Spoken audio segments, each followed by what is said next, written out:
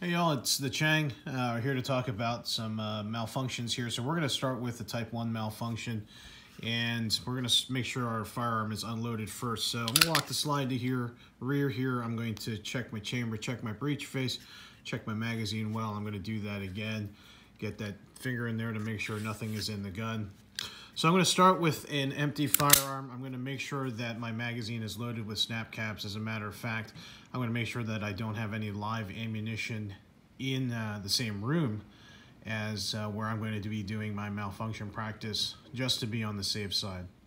So to set up a type 1 malfunction, my slide is going to be closed here and I'm going to just insert my magazine. I don't need to rack the gun because we're just trying to get the gun to go click. So I'm going to point into my designated target area here. I'm going to press a trigger. I'm going to get a click.